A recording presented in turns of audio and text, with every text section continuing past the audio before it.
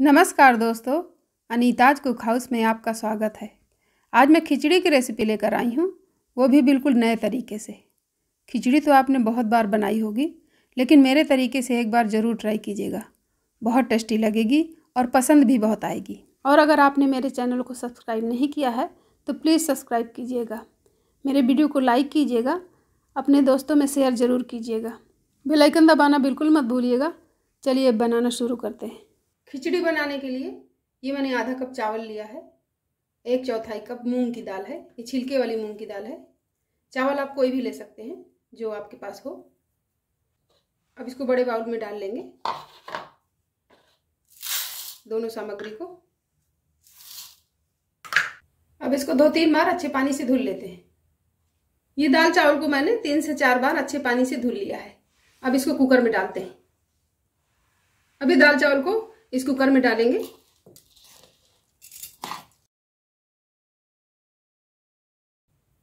अब इसमें पानी डाल देते हैं। तीन गिलास पानी डालेंगे। खिचड़ी थोड़ी पतली रहती है ना तो अच्छी लगती है खाने में। दो, तीन। अब इसमें नमक डाल लेते हैं, थोड़ी सी हल्दी डाल लेते हैं। आधा स्पून हल्दी इसको डाल देते हैं। नमक डाल देंगे टेस्ट के अनुसार। और इसको थोड़ा सा घोल देते हैं स्पून से। अब इसमें कुकर का ढक्कन लगा देते हैं। अब चलते हैं गैस की तरफ़। अब कुकर को गैस पे रख देते हैं। गैस को ऑन कर लेंगे। गैस को मीडियम फ्लेम में करके इसमें एक सीटी लगाते हैं। अब जब तक इसमें सीटी आती है, तब तक कुछ सब्ज़ियाँ तैयार कर लेते हैं इसके लिए। अब खिचड़ी में डालने के लिए कुछ सब्ज़ियाँ ले लेते हैं। ये आधा कप हरे मटर के दाने, एक आलू मीडियम साइज़ का था, इसको मैंने लंबे पीस में काट लिया है। दो टमाटर मीडियम साइज़ के थे, इनको भी काट लिया है बारीक। एक प्याज था मीडियम साइज़ का, इसको भी काट लिया है। ये दो तीन हरी मिर्च मैंने बारीक काट ली है। मिर्च आप अपने टेस्ट के अनुसार कम ज़्यादा कर सकते हैं। ये लहसुन की कलियाँ पाँच छः थी, इनको भी बारीक मैंने काट लिया है। ये आधा इंच का टुकड़ा अदरक का, इसको मैंने कद्दूकस कर लिया है। अब कुछ मसाले ले लेते हैं। अब एक छोटा सा बाउल ले लेंगे। अब इसमें डालेंगे एक स्पून धनिया, खड़ी धनिया,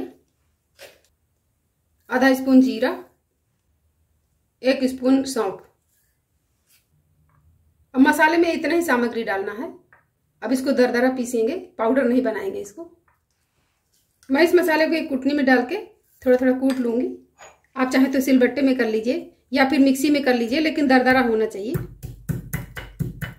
ये मसाला कुट गया है, इसको इसी बाउल में डाल लेते हैं।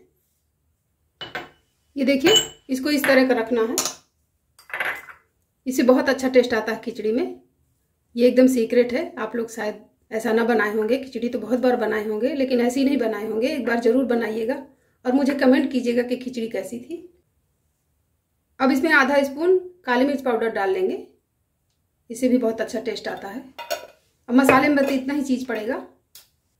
आप चाहें तो लाल मिर्च पाउडर भी डाल सकते हैं, लेकिन मैं नहीं डालूँगी। अगर आप खाते हो तो आप डाल लीजिए। अब चलते हैं गैस की तरफ़। अब कुकर में एक सीटी आ गई है। अब इसको साइड कर लेते हैं। अब खिचड़ी के लिए एक तड़का तैयार कर लेंगे। अब खिचड़ी में तड़का लगाने के लिए एक कढ़ाई रख देते हैं गैस में। गैस को मीडियम फ्लेम में कर लेते हैं। अब इसमें डालेंगे दो टेबल स्पून सरसों का तेल। अभी गर्म हो जाए। थोड़ा सा। तेल गरम हो गया है। अब इसमें डालेंगे एक चौथाई स्पून जीरा। दो तीन पिंच हींग। ये जो प्याज काट के रखी थी, इसको भी डाल देते हैं।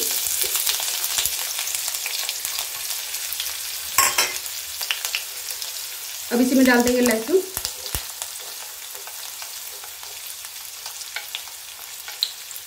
हरी मिर्च। अभी अदरक थोड़ी सी बाद में डालेंगे।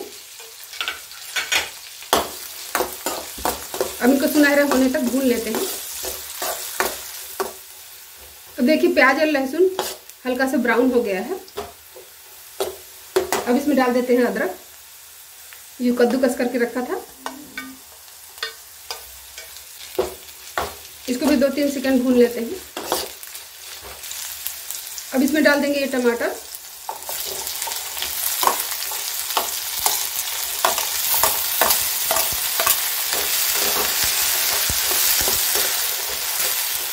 आलू भी डाल देते हैं।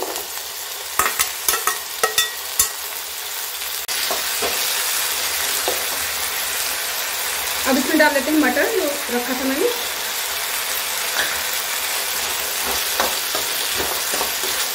अब इसकी सारी सामग्री को पाँच मिनट तक भून लेते हैं अच्छे से।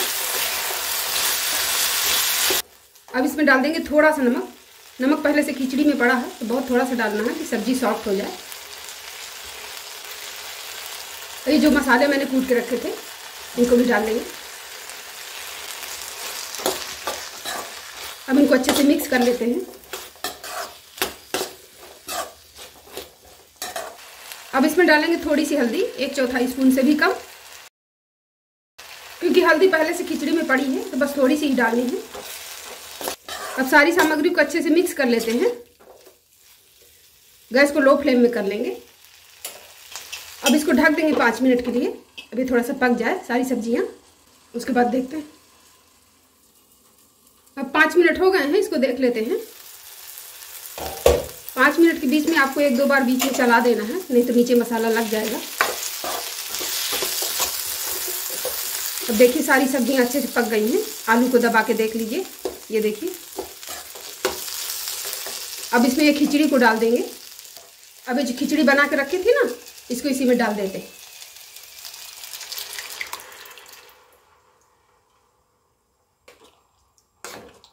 अब इसको अच्छे से मिक्स कर लेना है।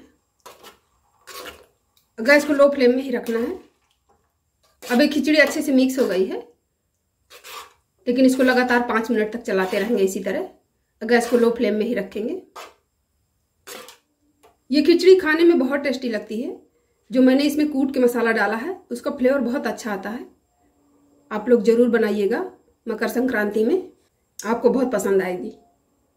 अब पाँच मिनट हो गए हैं, गैस को ऑफ़ कर देते हैं। ये देखिए, बहुत अच्छी खिचड़ी बनके तैयार हुई है। अब इसमें थोड़ी सी धनिया पत्ती डाल देते हैं। अब इसको मिक्स कर लेंगे। देखिए, कितनी अच्छी खिचड़ी तैयार हुई है। एकदम देख के मुँह में पानी आ गया, खाने का मन करने लगा। अब चलिए सर्व कर लेते हैं। सर्व करने के बाद इसमें थोड़ा सा देसी घी डाल दीजिए तो खिचड़ी में और चार चाँद लग जाते हैं, बहुत टेस्ट आता है खाने में। अब थोड़ी सी ऊपर से धनिया पत्ती गार्निश कर लेते हैं।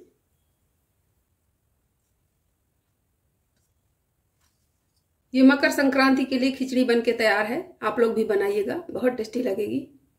मेरा ये खिचड़ी बनाने का तरीका पसंद आए तो मेरे वीडियो को लाइक कीजिएगा शेयर कीजिएगा चैनल को सब्सक्राइब कीजिएगा बेलाइकन दबाना बिल्कुल मत भूलिएगा। धन्यवाद, मिलते हैं अगली रेसिपी के साथ।